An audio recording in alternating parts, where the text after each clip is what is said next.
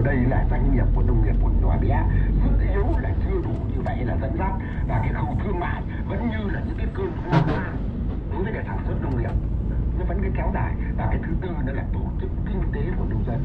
Đánh ra là cái số, số hợp tác xã được tổ nhóm hợp tác xã hợp tác. Như vậy là chưa bước kịp với lại những cái sự thay đổi của người tiêu dùng.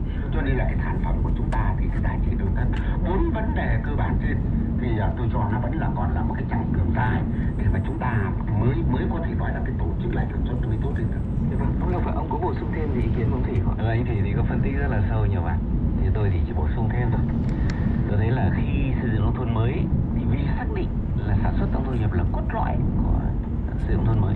Cho nên là trung ương cũng đã có một loạt cái chính sách liên tục này. Ví dụ chính sách tái cơ cấu nông nghiệp này rồi khuyến khích doanh nghiệp đầu tư vào nông nghiệp nông thôn này rồi tín dụng nông thôn này rồi chính sách khuyến nông này chính sách đào tạo lao động này